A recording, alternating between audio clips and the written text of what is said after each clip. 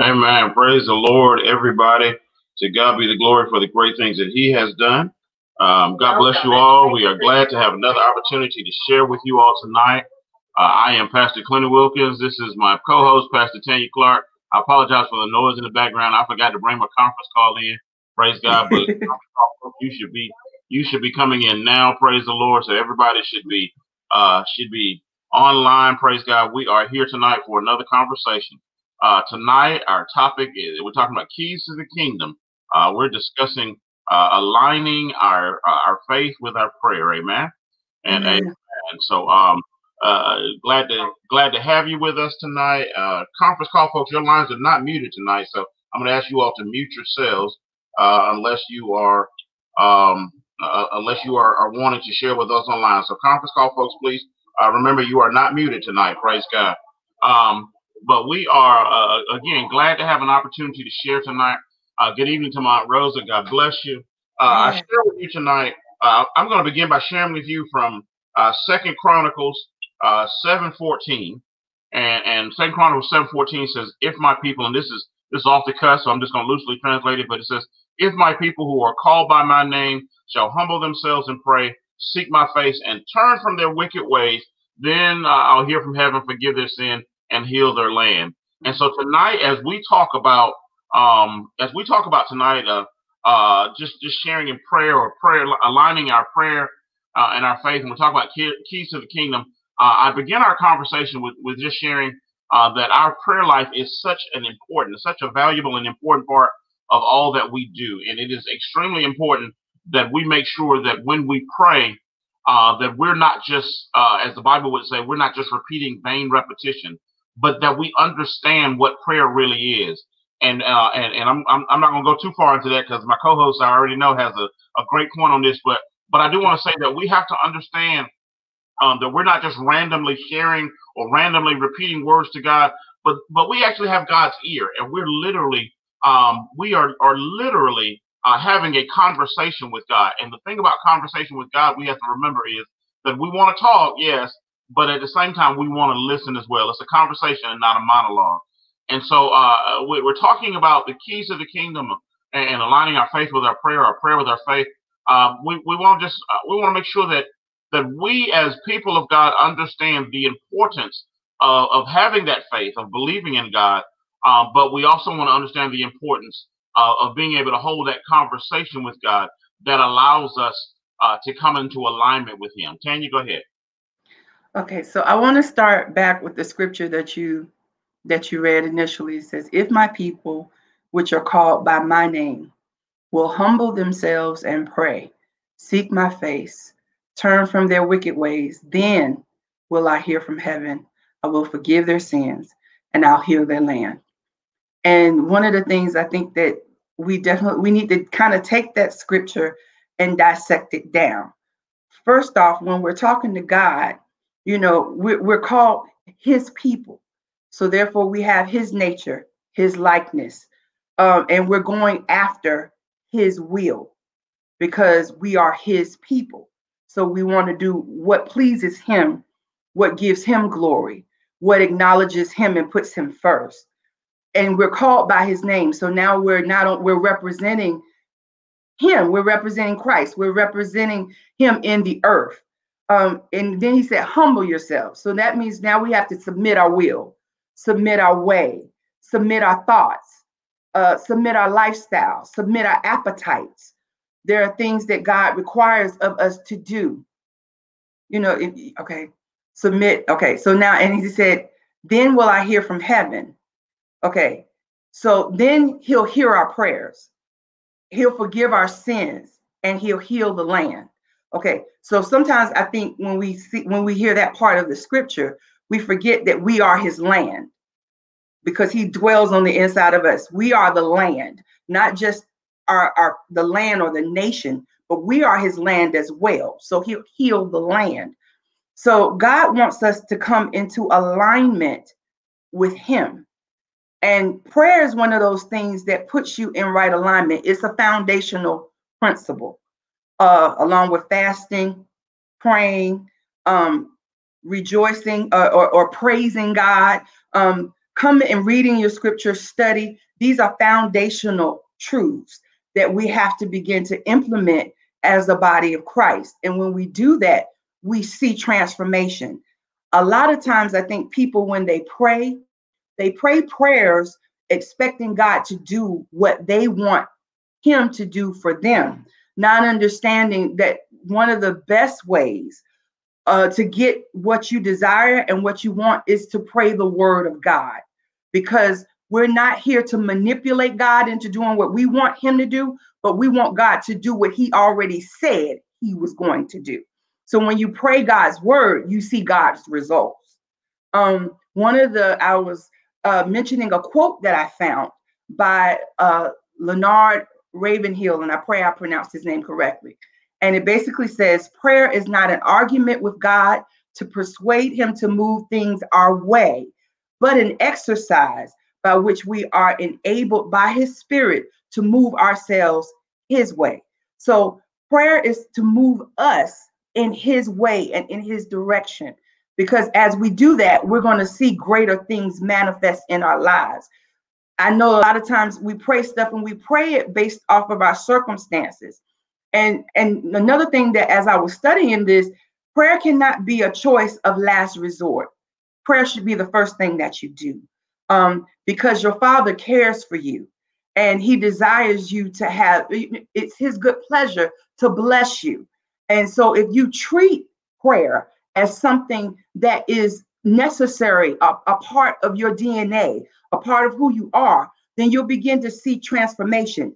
But you can't pray what you don't know. So you then have to go back and study the word of God, know his word in order to pray it and, and see God move in that way. Amen. Amen. And a couple things came to mind as you were speaking just then. Um, one of those things is, you know, I, have often, uh, in, in, during messages, I've often talked about um, the, the gospel song that says, "You tried everything else, you need to try mm-hmm. God." And I'm not, I'm not hating on the songwriter or anything of that nature. But honestly speaking, I, I often wonder why it is that it has to be that way. Why do we have to try everything else? Why do we have to get to the point uh, where where all hell is broken loose in our lives and we can't do anything else before we turn to God? And as you say, um, you know, why do we make God a last resort? Why don't we go to Him first? You know, the Bible says, "Seek first, Matthew six thirty three. Seek first the kingdom of God and His righteousness, and all of the things He'll add unto you." So, if we already know through Scripture, and I understand that some some folks don't have that relationship that allows them to act on that, but if we already know through Scripture that if we seek God and we seek His righteousness, um, then He'll take care of everything else. Then why is it that we make Him a last resort? And then the other thing that I thought about as, as you were sharing is the scripture that says, Delight yourself in the Lord, and yes. He'll give you the desires of your heart. And, and what we oftentimes do is uh, we have, as you said, uh, we have that mindset that if we, you know, if, if we're praying and we're going to church and, you know, we're we're doing these things, you know, we we wearing a cross and we carrying a Bible and we don't we're not cussing and we're not drinking and we're not smoking and we're not partying, we're not doing those things, then we can, as, you know, using your terminology, we can manipulate God into doing what it is that we want to do. But that's a misinterpretation of the scripture because mm-hmm. what the scripture actually means is as you delight yourself in the Lord, the Lord will begin to line your heart up and yes. he will begin to line your mindset up with his so that as you delight yourself in him, the desires of your heart become the desires that he has for us. Yes. Not the desires that we have according to our worldly view of how things should be. And so we have to be prepared. And that's one of the things I think that sometimes uh, people who begin to come to Christ miss. We have to get to a point where we understand that when we come to Christ, we've got to be willing uh, to allow Him uh, to move in our lives. A lot of people, you know, and, and I know I use this phrasing a lot. Uh, but a lot of people want that Burger King. Uh, they, they want that Burger King Christianity. They want to have it. You know, you want to have it your way, but it does not work that way. And so we serve a sovereign God, and He's He's bigger than everything you know that that uh that we can can deal with and every, uh, everything that we can ask or think he's you know he he can do exceeding abundantly above all of that and so because uh because that is his that is his uh his mentality. That is his uh that is her his persona. We have to allow ourselves to line up with him but we fight that and we want to have it our way. Amen? Amen. Uh philippians 2 and 13 says for god is working in you giving you the desire and the power to do what pleases him. And i think that we we we've told people, you know, if you come to God, you know, you don't have to change. I think that's a lie and a misnomer. God's going to change you. and if you don't change, there's a problem. Um, if you stay the same, you know, when people say, oh, this is just how I am. No, it's not. You then you've not allowed the Lord to change you because you're supposed to be changed into his image and into his likeness. Um, and the only way you can do that is through and by the word of God, where he begins to work on the way that you look at life, the way that you see yourself. Because prayerfully, you'll begin to see yourself the way that he sees you and not the way that even the world has taught you to see yourself. And, and when you see yourself that way, then your mentality changes. And then the way that you speak changes. The way that you act changes. Everything about you will begin to change because you're transforming, goes back to that, transforming into his image and into his likeness. He wants you to please him. Think about it. When, when Jesus Christ talked about God, he said, I only do what the Father tells me to do. I only do what he shows me. I only do. So everything that he did was to please God. That was his motivation to fulfill the will of the one that sent him. That was his motivation. And we said we want to be like Christ. So we have to be willing to please the one that sent him, and that's God. So you got to be willing to change. And it means that you're going to have to be willing to let go of some old ideologies, some old myths, some things God that you've held on to. And that goes back to that instantaneous thing. I think we've we've lied to people and we've not told them the truth. And God's going to change you. Yeah, we got to catch the fish, true enough. But trust and know once that fish is caught, in order for you to eat it, it's got to be gutted. it's got to be cleaned out. And that's what God's going to do. He's going to go in and he's going to gut your life and he's going to begin to change it, not to destroy you, but to make you better and to make you stronger and to make you successful because that's what his purpose is. He, he never, he said, my, my will is that you prosper and be in good health, even as your soul prospers. So God wants that for us. But it's only when we align with his word that we see it manifest. And, and, and I know a lot of times we want God to do it our way, but God's not going to do it your way. He's going to do it his way. Amen. Amen. We got uh, several comments here. Uh, I got some yeses and some amens and promises of God. and uh, glad to have Aunt Rosa back with us tonight. Yes. She says, uh, God's will is the safest place to be. Aunt Rosa Kane was asking for you the other night. Praise yeah. God. Um, and she, she also says that's good. Glad to have Sister Patricia Somerville. God bless you. Glad to have you uh, with us tonight. Praise God. You all, the lines are open or put your comments in the chat. Uh, Tanya, as, as you were sharing, uh, one of the things I thought about um, was was the, the, the thought or the concept that um, much of much of our growth in God is based on perspective. And mm-hmm. what I mean by that is um, as we grow in God, God doesn't always change our situation, no. but He will change our perspective on our situation. And so, if you're hurting, um, God will oftentimes change your your mindset from "woe is me" to to you know, "thank you for keeping me." Mm-hmm. You know, mm-hmm. or if you're struggling, you know, He'll He'll change your your mindset from uh, you, you know from from "help me" uh, to "thank God for keeping me." And yeah. so, you know, it, it's it, our perspective changes on the situations that we're we're going through. You know, it, you know, oftentimes we uh, we we will get into uh, the habit of complaining about our circumstances, uh, where you know a change of perspective or growth in God will allow us uh, to have just have a different mindset that, that allows even what we speak out of our mouth. You know, we talk about the power of life and death being in the tongue, uh, but but even what we speak out of our mouth will change as we grow in God. And I think sometimes we have to, well, no, I don't think sometimes, I know, um, we have to change the way that we look at things and we have to change the way that we talk about stuff and the way that we speak about things. Because if we do not, then we'll find ourselves uh, uh, keeping our own selves in bondage from our own mindsets and our own uh, our own hard hearts and our own you know our own words, the things that we say and the way that we speak things over our own lives will keep us in bondage.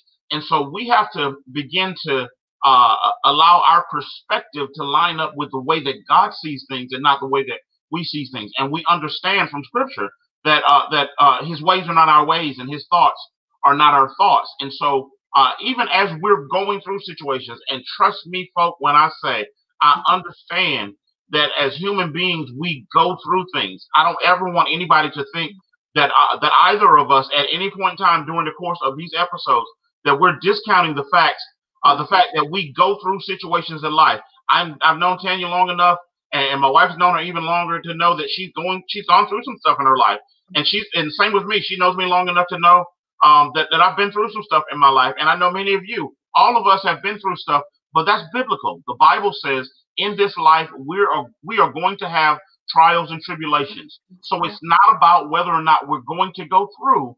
It's about our perspective on what uh, on, on what we're going through and how we deal with it. Uh, Rosa says he will show us a different way to deal with situations in a way that glorifies him. And she says she's still learning. Uh, Rosa, you are not by yourself. We yeah. are learning every day. And I oftentimes say when we stop learning, we stop living. So mm-hmm. we have to continue to press towards the mark. That's Paul um, Paul writes, you know, we have to continue to press towards the mark for the prize of the high calling of God in Christ Jesus. Folks, our lines are open.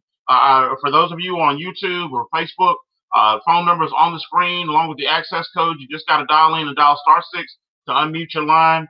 Uh, but we we welcome your comments. If you don't want to speak live, then um, then throw your comment in the uh, in the chat line. We'll read it all for you. But we're glad to have uh, have you all with us tonight for another episode of Kingdom Centered Conversations. Tonight, we're talking about keys to the kingdom, aligning your, your faith with your prayer. And uh, we're, we're glad to be talking about this topic tonight because I believe personally, and I, I, I speak for my co host as well here. Hopefully, she doesn't mind that. Um, but we believe that this is an, an important concept to understand as we work to grow in God. And I'm going to say one more thing, and I'm going to pass this back to her.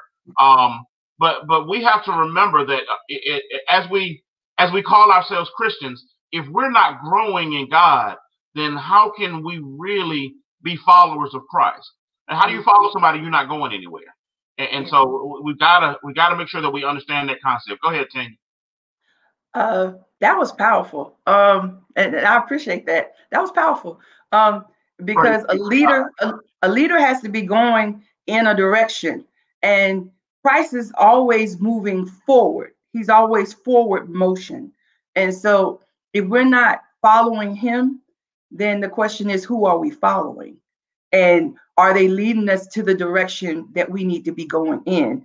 Um, you were talking, and I, I, kind of felt compelled to share a testimony uh, about some things that happened to me recently. I was having a moment because let's be honest, in the midst of this COVID 19 world that we're living in, a lot of us are at home or we're working or we're doing different things. And you know, sometimes you can get uh, you can get stuck in your emotions you can get stuck in places. And if you if you don't have the right people around you speaking life to you you can stay stuck in those areas.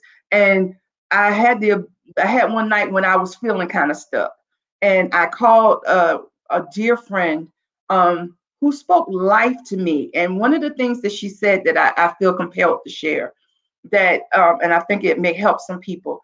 She told me, she said, Your destiny and your promise is tied to the last word that God spoke over your life. And she said, and it's tied to your obedience to that word. She said, when you fail to be obedient in that word, then you've into death. She said, depression comes in, it sets itself in because you're not now being obedient to what God has spoken to you. She said, but the blessing is that the promise that God spoke over your life is tied not to your emotions, not to your not to what someone has said over you. It's not tied to even what's going on around you your surroundings but it's tied to your blood. She said and from your it's, it's in your literal dna it's in the makeup of who you were from the foundation of the world. She said and because the enemy can't mess with that you can always get back up and move forward. And so i want to say this to someone no matter what's going on around you and what's going in you, your destiny is tied to the blood, and the blood still speaks, and the blood still works. God, the blood of Jesus Christ still works. And so, as long as you know that you got the blood on your side and his blood is in you, because when you gave your life to Christ, there was literally a DNA change, and you became a part, and you be, you were engrafted into His family. So now His blood is flowing through your very your very veins. So now there is a transfer of power. So now just get back to that place that God spoke to you. Wherever that place was, there's a there's a state a status of obedience. And when you get there, you're gonna see a transformation. Because for me, that brought life to me and it encouraged me and it made me say, okay, Tanya, stop being disobedient where you last were and let's get moving where God said. So I just want to encourage you to say this don't stay stuck. You don't have to. There's healing in the word of God, there's deliverance in the word of God. And when we line ourselves up through and by prayer, coming back to God and saying, okay, yeah, I messed up, I missed the mark. Your word says that if I repent, that you are you're faithful and just to forgive me. And it also says you cast my sins as far as the east is from the west, to remember them no more. So I thank you, Lord. Now I can go and do what you called me to do, and I can walk according to your word without hindrance, without delay, without baggage. I can move forward in victory and be strategic in what it is that you called me to do. Amen. Praise God. You know what? I'm going to start taking notes when I talk to you. yes, sir. I got some sermon material out of that right there. That's the offering plate. Now we're good to go. But to God be the glory. Amen and amen. You know, as you were as you were sharing and, and you were talking about, you know, how how easily it is for um to for depression to set in. Uh, let me let me say this. You know, Paul Paul spoke and he said, or Paul wrote and he said, uh, and I'm going to loosely paraphrase this, but he said, whatever things are true, whatever yes. things are lovely, whatever things are good, think, think on these yes. things. And so we have to learn to think on those mm-hmm. things. We have to learn uh, to focus on those things. And then he came back in, or, or well, actually previously, he said uh, in, um, and, and, you know what, we, we were, we're not always sure that Paul wrote this, but I always like to say Paul wrote it. but Hebrews 11 and 6, he said, um, he said, he's a rewarder of those who diligently seek him. And I quote that one a lot and the reason I quote that one a lot is because I think we, uh, well, first of all, as a reminder to myself to continue to diligently seek God in all that I do. And yes. I do think sometimes we have to, you know, as David did, sometimes we have to encourage ourselves. We have to remind ourselves of what we need to be doing. But if we're diligently seeking Him, mm-hmm. if we're diligently, if we're doing, if we, if we stop just singing, chasing after you, and we literally begin to chase after him. you know, I know we sing these things, you know, we, we sing these things and we use them as cliches, but we got to really start putting these things into practice. Mm-hmm. Are we really chasing after God? Are we really diligently seeking him? Are we really, um, you know, seeking first his kingdom? Are we really trusting in him with all our heart and leaning not into our own understanding? Are we really understanding that all things work together for good as long as we love him and as long as we are the called according to his purpose. Are we are we reading these scriptures and applying these things? Yeah. Or are we just reading them? You know, when we pray, are we honestly holding a conversation and do we mm-hmm. come to God with an expectation yes. that he's going to respond or are we just uh, are, are, we just uh, are, are, we just participating in vain repetition as the bible would say yeah. which one are we doing because yeah. if we're just going through the motions then how do we expect God to move and we're not really coming to Him in the right way? And because and, and as you to go back to what you said earlier, because a move of God is not a move uh, based on our what what we want, but it's it's based on His plan. And yes. so when He starts to move, what He's moving is not Himself, but what He's moving is us. And, and if we're going to be um, if we're going to be stuck, going back to, to your statement earlier, if we're going to be stuck in in where we are and we're not willing uh, to to chase after him, then we, you know, then then we're, we're just stuck. That's all that we are. Got a couple comments here. Uh, Denzel Austin, praise God, bless you. But uh, trustee at Kingdom Center, uh, he says when we align ourselves with Christ, uh, we will never have to worry about needs and wants because uh, all of it is covered by His grace and His mercy. Praise the Lord, Amen and Amen. My wife chimed in, you, she's your, your your buddy. She said the blood still works. Uh, we got a yes, Lord from Rosa. Uh, Charlene, God bless you. Glad to see you, preacher. Yeah. Um, yeah. She said we can sing a lie just like we can tell one. Uh, preach, preacher. That's from my aunt Rosa, mm-hmm. uh, and, mm-hmm. and, that is so true. We can sing a lie. We can pray a lie. Uh, you know, we can live a lie. We can do all of that, and we have to make sure uh, that we are always lining ourselves up with the Word of God and with the Spirit of God, and we don't have to worry about contradiction because uh, one thing that we do know is that the Word of God and the Spirit of God are not going to contradict itself, uh, right. contradict each other, because God is not a man that he should lie. Folks, we got about five minutes left in our show tonight.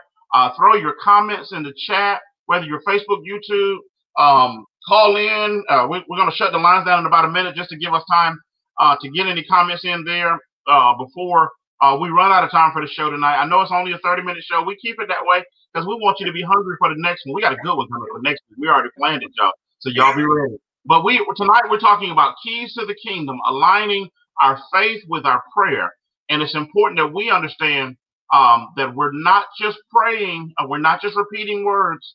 Um, I, I, I, hate to even use this example because some of my folk that I grew up around are gonna know uh, are gonna know what I'm talking about. But I got to share this. I grew up uh, in, in, you know in, in church that I grew up in. There was a gentleman who used to um, he used to pray. You know, on, on, each Sunday he would pray. He was always he was one of our trustees, and he would pray at the end of the offering. And, and my cousin, um, my cousin and I uh, used to do a lot of. We used to copy a lot of people when we were growing up. That was what we did in church. You know, we used to my Roses here, my Rose and my uncle. We used to we used to copy them singing. We still do it sometimes when we get together. Uh, but but we used to copy folk.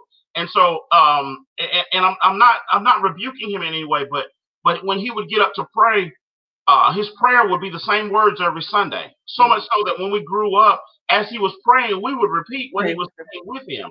And it was a rather lengthy prayer, but he would repeat it every Sunday. And he would, uh, Mama Rosa laughing, I know she, she laughing because she know exactly what I'm talking about. But he would repeat it every Sunday, and we would, uh, and we would literally be talking along with him as he would be praying because we knew what he was going to be saying. I'm not rebuking him in, in, in any way. You know, he's he's passed on uh, passed on since then. But what I'm saying is that it is very easy for us to get into the habit of doing that instead of actually holding an honest conversation with God and really, you know, we sing, have a little talk with Jesus, tell him all about our troubles. You know, he'll hear our faintest cry, answer by and by. But are we really having a talk, or are we just reciting a poem? Are we just reciting, you know, words that we've memorized and, and calling them prayer? Um, we got about three minutes left, folks. We thank you all so much for being with us tonight. Tanya, I'm going to give you the floor here for any closing remarks you want to make. I just wanted to kind of uh, touch base really quickly. Um, when you said expectation, expectation is key because if I'm talking to someone, number one, I have an expectation that when I finish speaking, that they're going to reply back to me, and that that whatever I'm asking, if I'm making a request, that I wouldn't go to them if I didn't believe that they had the answer or that they had the ability to give me what it is that I'm asking for. So there would be no need to go to God if you didn't believe that He was able to do what you're asking of Him to do. So don't go to God and have a one-sided conversation where you just say whatever it is you say, and then it's almost like picking up the phone, saying whatever you got to say, and then hanging up, and you don't expect Him to respond. God wants you to listen, hear what He has to say, because God will speak, whether it's through His Word. You know, God's going to speak. He's going to say something back to you. And then have the expectation that whatever his will is for your life, whatever he says is what is needed in that moment and in that time. Don't be afraid to wait on the Lord. Don't be afraid to have that listening ear to hear what he has to say because God wants to bless you. He wants to move in your behalf, and he's not going to ever do anything to destroy you. If anything, he's going to make you. The one thing I always say is something that I love saying there is nothing wasted in the kingdom. So even in the midst of the storm, God's going to, he, yes, sometimes he calms the storm, but other times he calms his child. That's an old song. And so you got to realize that God is, he wants to do something in us. And as he changes us and transforms us, we become in his image and in his likeness. And we're going to see great and mighty things manifest through and by him. We are the kingdom. We are the kingdom. We are the kingdom. We're going to see God move. We're going to see God move. Amen. Amen. As folks used to say back in the day, that'll preach. Praise God. I got a couple of comments here I want to squeeze in before we go. Uh, Denzel, God bless you. Glad to have you with us again. Uh, we also need to believe in what we pray for. Most people will just say prayers and not believe. When we have faith behind the prayer, to God be the glory, uh, things will move. God bless you. Amen and amen. You are absolutely right. Got an amen from my sister-in-law Glenda and my cousin Edna. God bless you. She says we have to believe God for what we ask for. That is amen and amen. And I share this as a closing statement. We're out of time tonight, but I share this as a closing statement with you all. Uh, we have said for years as a cliche that prayer is the key and faith unlocks the door. And so I want to encourage all of us tonight. And I say all of us because I'm not only encouraging you, but I'm encouraging myself. I want to encourage us all tonight. Use your key. Let us all use our key. Prayer is the key. Faith unlocks the door. Use the key and believe that the key is going to work. And if we, so then we can gain access to the room. Amen. And as, as, uh, as Jonathan Nelson would say, everything you need, whatever you need, is in the room. Praise God. Amen. To God be the glory for the great things that He has done. Thank you all so much for being with us again tonight. We pray that you have enjoyed this episode of Kingdom Centered Konversations. We look forward to sharing with you again next week. Same bat time, same bat station, Monday night, 7:30 to 8. We got a good one next week. Don't miss next week's show.